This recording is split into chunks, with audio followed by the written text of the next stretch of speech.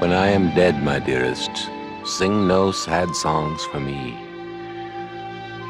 Plant thou no roses at my head, nor shady cypress tree.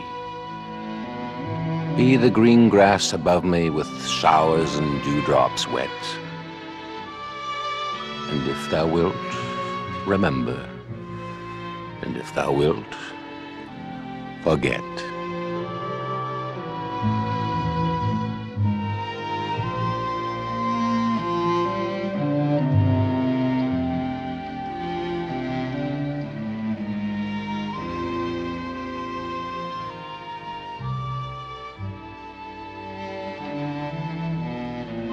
I shall not see the shadows.